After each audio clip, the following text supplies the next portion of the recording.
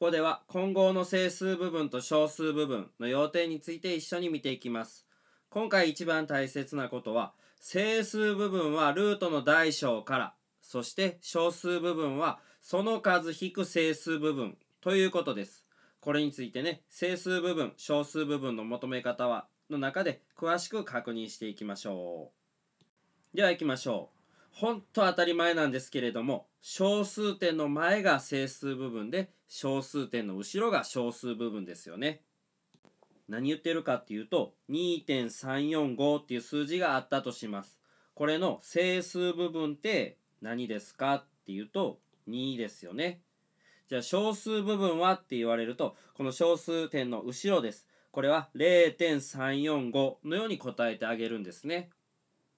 で今言ったことは本当ね直感的にも分かりやすいし当たり前なんですが小数部分って実は違う見方ができるよねと。それは何かっていうとその数引く整数部分で求まるねっていうことです。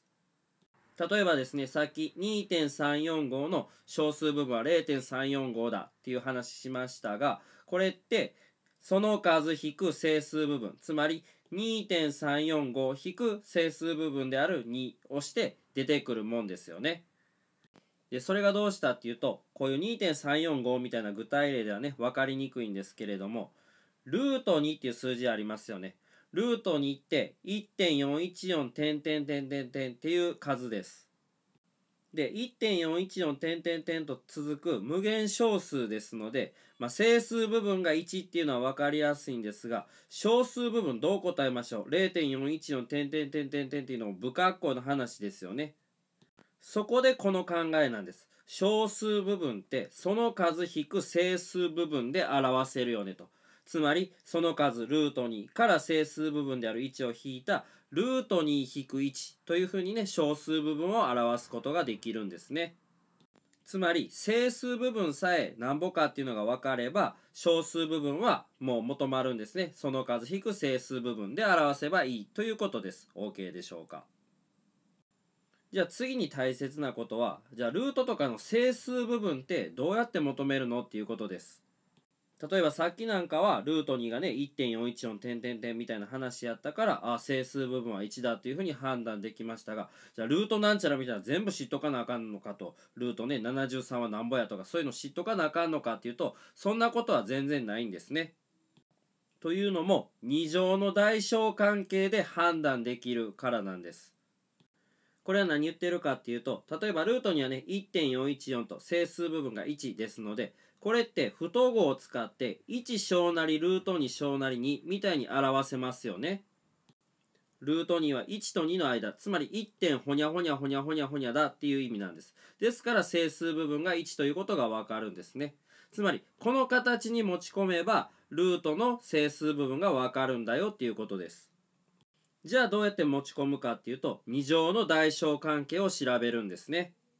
これは何言っているかっていうと2小なり3なら2の2乗小なり3の2乗ですよね。だってこっちは4でこっちは9ですから。つまり2乗しても大小関係は変わらないということなんです。実際ルート2は1より大きくて2より小さいっていうねこの不等式は成り立ってますがこれの全部2乗して1の2乗小なり2小なり2の2乗ってやっても問題ないですよね。最大のポイントはルートは2乗したらルートが取れるっていうことです。つまりこの不等式が考えやすくなるっていうことなんですね。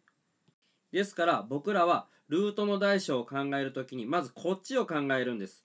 そのルートを2乗したものがなんちゃらの2乗となんちゃらの2乗の間にあるかなっていうこっちを見つけてそしてその2乗を解除するんですね。このようにしてルートの整数部分を発見します。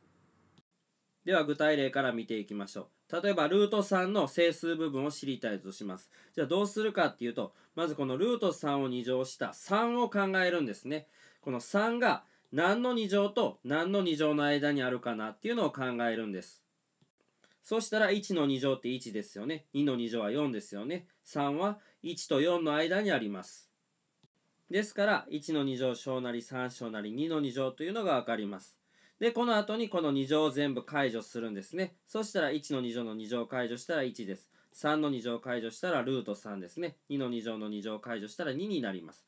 ということで1小なりルート3小なり2と分かります。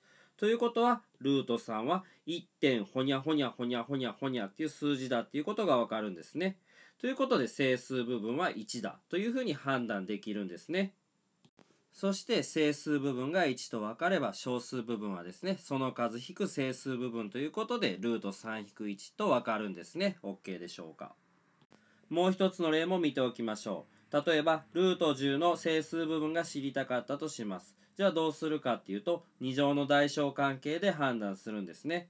つまりルート10を2乗したまず10この10っていうのが何の2乗と何の2乗の間にあるかなっていうことを考えるんです。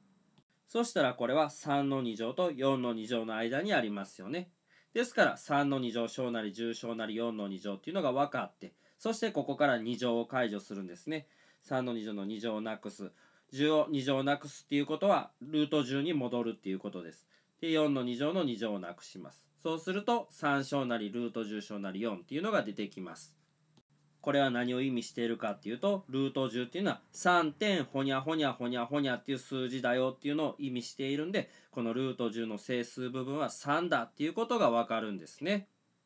そして整数部分さえ分かれば小数部分はね、その数引く整数部分なんで、ルート10引く3と出てくるよという流れです。OK でしょうか？では最後にですね、もう一つ大切なことを確認しておきましょう。それは、整数部分や小数部分からね、式の値を求めてくださいっていう問題があるんです。で、そういう時は、整数部分足す小数部分はその数自身になるよっていうのを使うと楽なんですね。ここ何言ってるか OK ですよね。2足す0.345は2.345その数自身になるよと。さっきこのやったね、ルート3の例でも一緒です。整数部分1でしたね。小数部分ルート3-1でした。整数部分足す小数部分はその数自身に戻るよっていうことを言ってるんですね。つまり具体例としてルート21の整数部分を x 小数部分を y とするときに 2x+y の値はみたいな問題があったとします。まずどうするかっていうと整数部分と小数部分を調べにかかりましょう。ルート21の整数部分を知りたいと。どうするかっていうと2乗の代償関係で判断するんですね。つまりルート21を2乗した21これが何の2乗と何の2乗の間にあるかなって考える。そうすると4の2乗と5の2乗の間にありますよね。じゃあ4の2乗小なり21小なり5の2乗が分かったんでねこの2乗を解除してあげると。そしたら4小なりルート21小なり5となりますよね。ということは、ルート21っていうのは4点ほにゃほにゃほにゃほにゃと分かるのでね、このルート21の整数部分は4ということが分かります。つまり、整数部分を x としているので、x イコール4ということが分かるんですね。じゃあ小数部分 y はどうなるかっていうと、小数部分はその数引く整数部分ですから、その数ルート21引く整数部分の4である y イコールルート21引く4ということが分かります。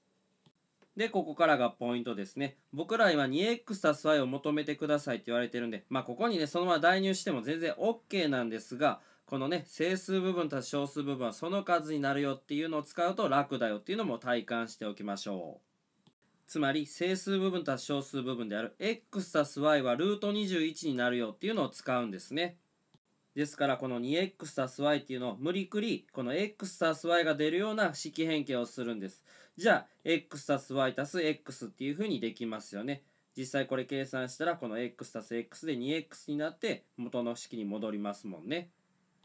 じゃあ今 x たす y っていうのはルート21その数自身と分かってます。そして x っていうのはさっき求めた4でしたよね。だからルート21たす4となって答えになるっていう流れなんですね。OK でしょうか？はい、ということで、ここでは今後の整数部分と小数部分の要点について見ていきました。どうでしょうか？理解できましたでしょうかね？この後は例題を使ってさらに理解を深めていきましょう。